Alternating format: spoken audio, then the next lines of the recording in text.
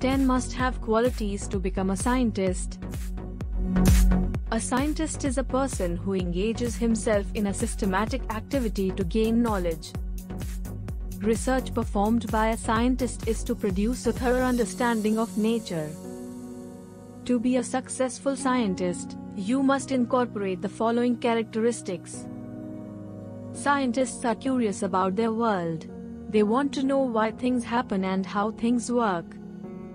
Scientists are patient as they repeat experiments multiple times to verify results.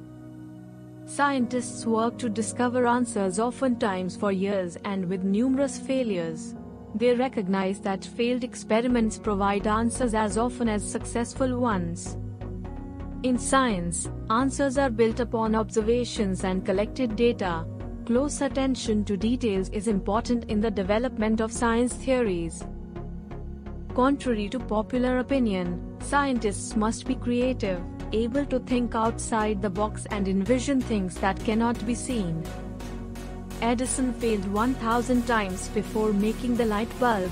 Scientists have to work for years and even then their research can be proved wrong. Scientists need good communication skills. They may need to work as part of a team, share information with the public or collaborate with colleagues around the world. A scientist has to be flexible and listen to the opinion of others.